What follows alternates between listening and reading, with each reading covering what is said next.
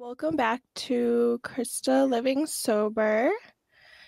I have Caroline Beadler um, on for my guest speaker today, and she is the author, speaker, and recovery advocate. I'd like to introduce yourself and let us know a little bit more about you.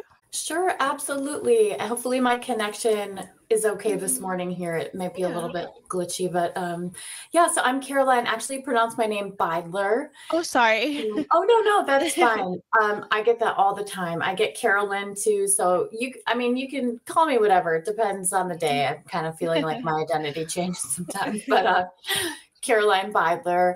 And, you know, I like to introduce myself. I could list a bunch of stuff that I've done, but really today, you know, I'm just feeling this connection to my identity as a woman in addiction and mental health recovery. And to me, you know, that means my life today looks so different than it did 10, 20 you know i'm not going to tell well i'm going to be 40 in a couple of weeks. So 20 years ago um and uh it's just been a really beautiful journey. I um you know had been through a lot of struggle and hardship and kind of come out the other side of that.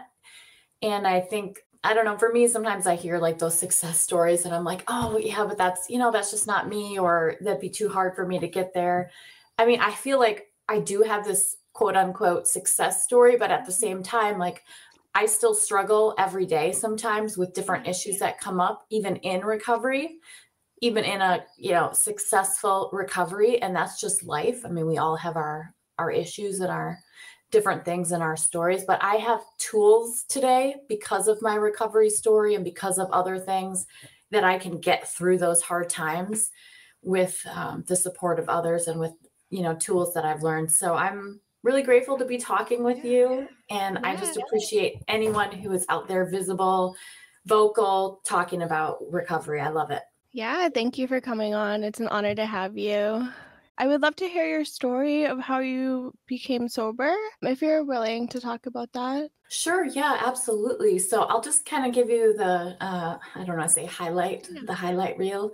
Um. But, basic, but basically, you know, I got started down a pretty dark path of addiction really young. Um, I think I took my first drink at 11 and really just found myself, you know, searching or seeking some kind of outside thing to help me feel better and escape. And I saw that playing out in the people around me that, you know, hey, a lot of people are using alcohol. And then it became, hey, a lot of people are using other drugs. And I just started experimenting. And I, I'll to be honest, you know, at first I felt this, it was like this aha moment. Oh my God, finally, you know, finally I feel like myself. Finally, I can stand in a room or in a space with other people and not be crawling out of my skin.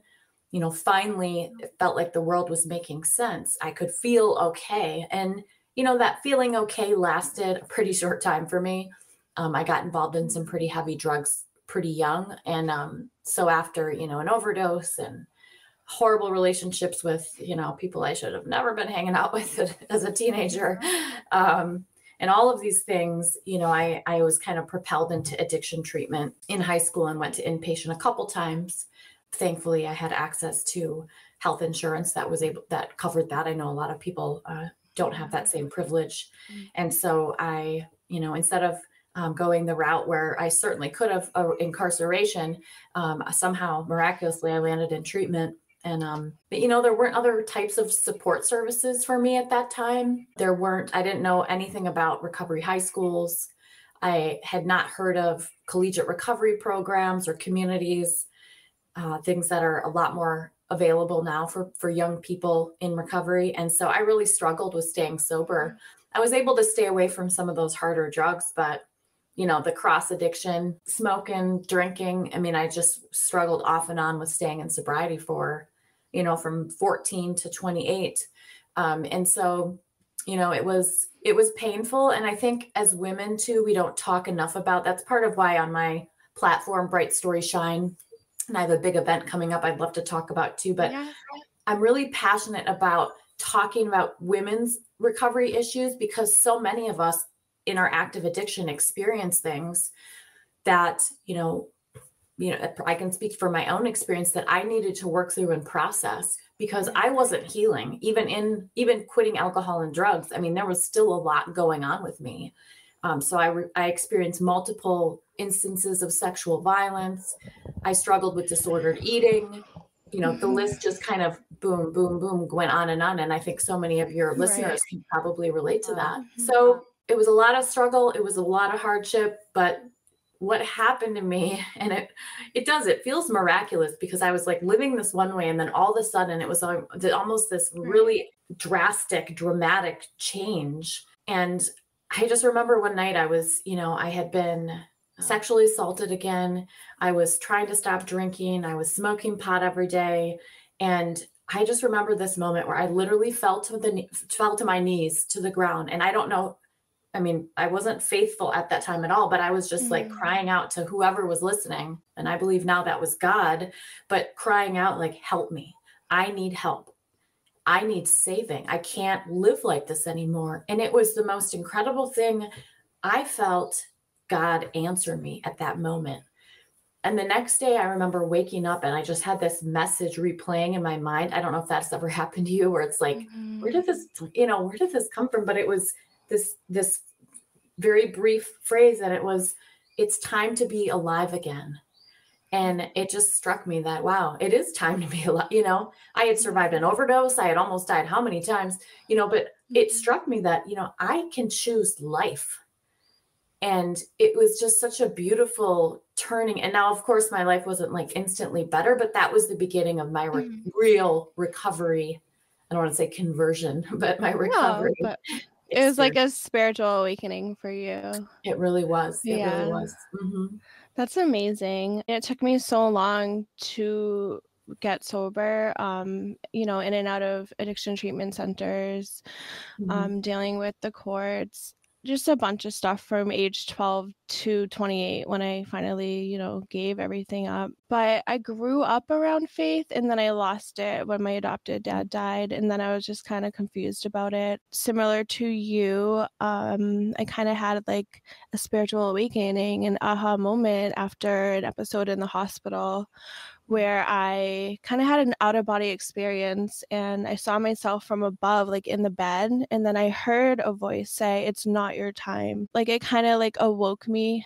Like I, I went back in my body and I woke up and I was like, wow, like something is speaking to me. You know, I didn't know at the time, but I think it was my higher power. I think it was God. Mm. Um, but yeah, that was enough to wow. change my life to be like, hey, I need to get sober. Like, I don't know how many more mm-hmm. chances mm-hmm. I'm going to have.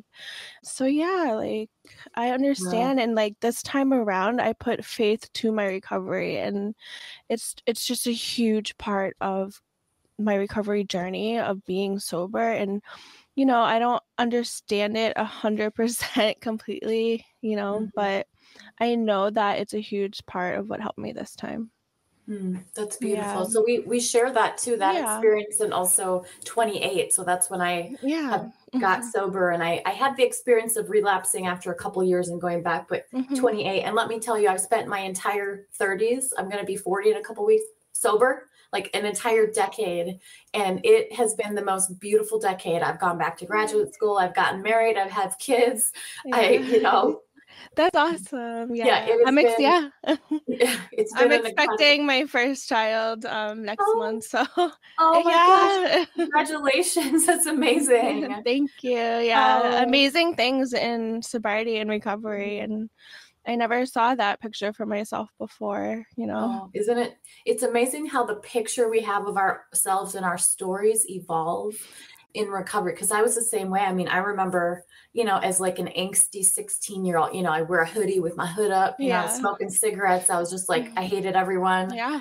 Um, and, uh, you know, I didn't think I'd live to 30. I mean, it was really right. this clear thought. I had, I did not expect to get that, you know, that life with the husband and the kids or the partner and the kids and whatever the picture of my life has opened up and i think dealing too with some of my my trauma issues and that actually didn't happen until i was 30 and mm-hmm. thankfully um, because i was finding myself still in these really unhealthy relationships um, and i don't want to get you know too much information here for your listeners but it's okay I was making really bad choices, mm-hmm. poor choices around my body. Me too. And, and having a, a tough time saying, I'll just say it, saying no. Um, and so it wasn't until I learned I was still stuck in this place that was really trauma symptoms and I didn't realize it. Um, and it was so freeing when I realized, like, hey, there's a reason why my body kind of shuts down in these situations. There's a reason why I still don't feel like I have any control or agency around my choices. And um, I had to, I worked with a mental health therapist, and she helped me through uh, this uh, addiction treatment. It's actually evidence based, which means you know it's been researched and people with a lot of degrees say it works. So I, I believe them. Um, but it's called Seeking Safety, and what seeking safety taught me was just some like practical tools and things that I could learn how to treat some of my symptoms. Do you have a minute? Can I just share like an example of what yeah. I'm saying? Yeah, of course. Okay. I believe like therapy is also another great, you know, thing to seek out during recovery as well, because mm-hmm. that did work for me. Yeah, I agree. I mean, I think, you know, we all need different things, but at the same time, like, more support the better you know i would advocate anyone like my husband and i we actually started seeing a therapist to learn about how to communicate better just so we can like get there so anyways i recommend i just you know i love therapy yeah. but i learned about things like you know how to regulate my body and it sounds a little like you know but mm-hmm. really what was happening to me and i think why i was like addicted to cigarettes and nicotine all this stuff for so long is i was trying to regulate my nervous system. Because when we've experienced trauma, and a lot of us too in addiction, I bet a lot of things happen to me that I don't even remember, you know? Um, but my body remembers and it hangs on to those things. And so, for example, I dated someone for a long time that he was he was very tall, kind of bigger, and you know, I would say he's, you know, I wish him the best and you know, I still care about him, but just his physical presence sometimes would like trigger things in me mm-hmm. where I'd get you know, my heart would start racing and I'd feel uncomfortable. I didn't know what was happening at the time, but my therapist helped walk me through okay, in this in these moments, we can actually do breathing exercises. We can do something called grounding where I don't know if you've tried this where you like picture yourself like okay, I feel my feet on the floor right now, you know. Oh, okay. You look around the room like I see, you know, just grounding in the present moment actually helps us relax our bodies. And I hope I'm making sense. I'm kind you of are. I mean, for me personally, I've never experienced that type of therapy, but I do have a friend that shared her experience with that because mm-hmm. she has super anxieties and other things going on but she was explaining how they like ground you and make you like point out things in the room and like mm-hmm. yeah it's interesting yeah it is really i mean it really is and you know just those simple things i think helped me realize too that I have the ability to start choosing healthy coping mechanism, healthy ways of taking care of myself and my body. So instead of feeling kind of trapped because this person might be like intimidating me or whatever, I can choose to, you know, stay. Well, first of all, I could choose to leave the room. Um, I could choose to go somewhere and and ask for help around that. But I could also start focusing on, okay, maybe I need to go for a walk maybe my body is feeling kind of like too anxious or whatever or i can do some breathing exercises or so as i started learning more about taking care of my physical body dealing with some of those trauma symptoms my mind was kind of following there and i was able to over time i think and i still struggle here and there but really relax kind of relax and just relax mm. into I don't want to say my body, but just like the present, you know, and just like my experience. And it mm. was interesting. It wasn't too long after seeing that therapist, doing seeking safety, leaving the relationship, I met my husband, you know, and we have a we have a really healthy, you know, we do. We have a really healthy relationship. I mean, it's not perfect certainly, but we work on things. So I'm a I'm kind of all over the place here this morning. I'm sorry. No, it's okay. It's fine. But that's that's awesome seeking what is it called seeking seeking safety seeking safety i'll look mm-hmm. into that that totally makes all the sense yeah mm-hmm. it kind of sounds like meditation or just bring awareness to yourself to your mind to your body in the present moment and mm-hmm. that yeah, heals exactly. that does so much healing for mm-hmm. yeah exactly and i think that kind of bringing back that faith piece i think that's what god yeah. god wants us to be to have peace. And yeah. those are all tools that I believe God has given us to be able to get there. Yeah. Serenity. It's amazing mm-hmm. when you find yeah. it. Mm-hmm. Beautiful. It really is, isn't it? But it is sometimes a moment by moment journey. Yeah. I mean, it's not easy to attain for sure. Like, I know when I was newly recovered, newly in my sobriety, like, it was so hard for me to find that peace. Mm-hmm. Um, but I, I learned how to pray. I learned how to just ask for what I can't control. And it's mm-hmm. something that I work on every single day still, you know, it's just mm-hmm. like, you know, I still deal with depression. I take medication. I deal with my mm-hmm. anxieties. I deal with so much stuff, but I take it day by day. And I remember that God is there for me, that I'm not alone in the journey. And yeah, mm-hmm. and I do find that peace. Yeah, so, it's beautiful, isn't yeah. it? It's, it is wonderful to know we're not alone. And we have other women. Like, it's so nice connecting. I feel like, yeah. you know, I don't know you really well, but at the right. same time, I feel like we have a, you know, we have, we share a lot of our same story with each other. Yeah. And so we have, you know, the ability to connect with other women in recovery. And I think that's just, it's such a healing thing. Mm-hmm. I love how you say that, like the sharing stories does heal. Because, you know, I never knew my podcast would take it like this far and like I've had so many wonderful people on sharing and you know that helps me too. I mm-hmm. love it. So there is a women's recovery event coming up and it's on International Women's Day. It is, yes. Yeah. So next Tuesday, March 8th. Yes, I hope you can make it. Um, yeah. And if you can't make the day and time, you can register and get a link that will be sent out after the event. But March 8th, which is International Women's Day, it's a really a historic gathering globally of women in recovery. There's a really uh, large, about 30 women gathered around a virtual table who will each be sharing a couple minutes on their own story, um, anything related to women's recovery that they'd like. There's also a breakout session later in the afternoon. So anyone who'd like to join and jump jump in a breakout session and share is able they're able to do that and what's really neat is there are women all over the world. So the event's going to be translated in three languages this year English, Spanish, and Portuguese. Uh, because of a large number of women coming from a couple different countries where those languages are spoken. And, you know, even in just the planning of this event, I've been meeting with so many women, and it's truly incredible because we, again, we share so much of the same story, but to have a platform and a place where we can talk together about women's issues, it's going to be a really incredible event. So I hope your listeners can attend. Just go to brightstoryshine.com and I've got something that pops up on the screen there. You can enter your email and get directions on how to get the Zoom link. Okay, awesome. That sounds amazing. I love that. Uh, thank you. I'm I'm really yeah. excited about it. And so you're also passionate about women's recovery issues, focusing on like the intersection between addiction recovery and trauma. What are some of the ways that you have helped women in the recovery scene?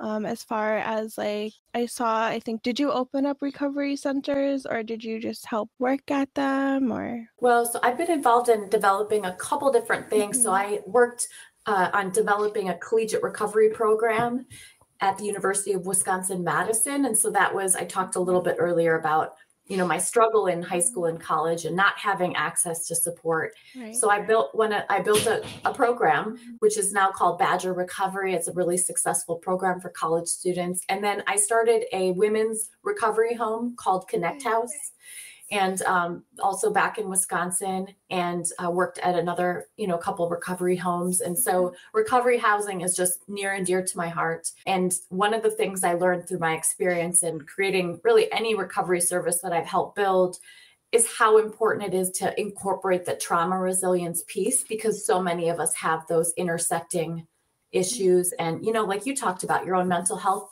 journey. I mean, so many of us, it's not just about quitting substances there's so many layers to that. And so I've learned a lot about that through my program development and how important that is. So I think, you know, now I'm really passionate at this stage in my journey about just sharing stories, reducing stigma. I love what you're doing. I mean, all of it, having people share their stories, it helps others know like, hey, this is possible for me. I mean, when I hear, you know, if Christa tells you tell your story and Caroline sharing, you know, I hope someone out there can like it hits them today, the moment they're listening to this, that I can change and I can get help mm-hmm. too, because that is the reality. You know, we all can, as long as we're breathing. Uh, there's an opportunity to go another way and live another, you know, live the way that you know you need to be living. Uh, so I'm just passionate about telling stories. You know, I'm doing a lot of writing. Um, I'm going to have a book coming out soon. I can't say too much more about that, but um, I'm really excited about that. So, you know, just I'm all about sharing recovery stories to help reduce stigma and, you know, bringing in that faith component, bringing in that yeah. resilience component, and talking about all these things that matter, especially for women in recovery. I agree so much with that sometimes it's hard when people get stuck in the darkness and they can't see that way out. I mean, I know I've been there. So that's what I'm trying to do, you know. Hopefully mm-hmm. people can listen and watch or just get something out of my podcast, you know, people's stories that come on and share and just know that there is hope, know that there is a light and that there's a way out and that we all can and do recover. So, yeah. And I saw on your website, I think that you have like a certain, like a a section for faith is that mm-hmm. is separate from like the sharing stories well, so on Bright Stories Shine, I have mm-hmm. what I'm calling now a virtual journal. And so I write, you know, blog posts. I invite, I would love it if you ever want to do a guest blog. Um, but I have other women who write uh, on the blog as well. And then my personal author website, carolinebeidler.com. I wanted to explore a little bit more about my own faith and recovery journey. And so I talk a little bit more on my author page about about that specifically. Okay. Can you give some sober advice to the listeners and audience if they are sober curious, if they're still struggling in active addiction, or if they are already in recovery? What is the best thing to start doing today? Hmm, that's a really good question. I love that. And, you know, I think that it potentially could be the same answer for for all folks you know whether you are still using an active addiction, whether you're seeking recovery, whether you found it and been years in recovery. And actually was just having a conversation with a good friend about this the other day. One of the characteristics that people who are resilient have, which, you know, again, research shows, so whoever, you know, with a bunch of degrees has said, but um, I believe because it makes a lot of sense. One of the biggest, uh, the things that people who are resilient have is that they have a sense of purpose and I love that because for my own journey and my story, I believe that, you know, starting a recovery home, helping other women in recovery, sharing my story, all of these things that I feel were wrapped up in my purpose. I don't I don't know if I would be sober if I didn't have those opportunities yeah. to give back and to really feel like my life has value. You know, I do have a purpose. And the first time I went to addiction treatment, I had a counselor there who told me, I remember exact, I remember his, the office. I remember the way, you know, I almost that smelled. I remember the way he looked at me and he looked me in the eyes and he said, your life has value and purpose. Wow. And I just remember it was like, I had never heard that before. Mm-hmm. I had never heard someone say that, but I had also never heard that in my heart. And I heard that for the first time and it stuck with me and it still sticks with me today. Mm-hmm. And so I would like to share that with with all of your listeners. You know, yeah. your life does have value mm-hmm. and does have purpose. And whatever that means for you, maybe that means you are going to choose to make that phone call to the treatment center or reach out to your sponsor or mentor or walk through the doors of a church you haven't been in in 20 years. You know, whatever that means for you, you know, I hope that that truth can sink in to your listeners that yes, your life has value and purpose. Have you ever read The Purpose Driven Life? Mm, yeah, I have. It's a great book. That, yeah. When I was in rehab, that book helped me so much to mm. kind of um, help decipher my purpose. And it's a spiritual book, you know, in a mm-hmm. faith based way. But mm-hmm yeah, I mean, purpose is so important, and I couldn't see my purpose before. So mm. I know that's a huge reason why I wanted to escape like forever, you know, my whole life. And mm-hmm. then after finding a purpose, finding that we matter, like life changing. It is, isn't it? yeah. And now look at you, you know, out there helping so many people yeah. with your podcast and everything mm-hmm. else I'm sure you're doing. So that's that's amazing. What a what a testimony. Thank you. One last question. What are you most grateful for in your life today, in your life of sobriety, recovery? Well, hands down, my beautiful children. So I was, I didn't get married till a little bit later in recovery. And then I found out I was having twins. Oh. and I didn't even know I could have, you know. Yeah. I'm like, oh my gosh, if I, I didn't think I could have kids because, you know, how unsafe I was. I'm like, I should I should have been pregnant yeah. I should have been pregnant like you know i don't know how many i should have like a million kids right now yeah. but um anyways. No i've thought that. Oh yeah so then all of a sudden i get married and then six weeks later so i have a beautiful son and daughter henry and violet and they are just the lights of my life and joy and i've told my husband this and i pray to god regularly. I never want my children to see me in active addiction and I want to work really hard to make sure that never happens. And I want to make sure that I can show up for them if and when they struggle with the same stuff I've struggled with. I certainly hope they won't, but anyways, they're beautiful. You can follow me actually, Caroline Beidler official, and check out some pics. I post pics of my little little ones a lot. So awesome. I will for sure. Is your husband also in recovery with you? So actually he's not technically in recovery, but we do not have any alcohol or substances in the home, and he hasn't had a drink in a couple years. Okay. So, yeah. yeah. As long as he's supportive, that's awesome. Very supportive. mm-hmm. Mm-hmm. Well, thank you for coming on my podcast. It was an honor to have you. Is there anything oh, else you'd like you. to share today with the listeners? Well, you know, I just hope folks sign up for the Women's Global Recovery Roundtable on International Women's Day, and you can check out brightstoryshine.com. And Christa, I just want to say thank you for the work that you're doing out there. And you just shine like a star. And I know your life has a purpose that is so cool. You are exploring that and have found part of that. But I know you're going to help so many other people. So thank you for your what you do too. Thank you so much for saying that. it means a lot. I'm gonna cry. Yes. congratulations again, and good luck on your Thank mama you. uh, role coming up soon. Yeah, so excited for that, and I'll have to have you back on my podcast sometime to share more about the book when it comes out. That would Absolutely. be awesome. And anything Anytime. else you'd like, just reach out. Okay, that sounds great. Thank you again. Of course. Thank you so much. Have Bye. a great day. You Bye.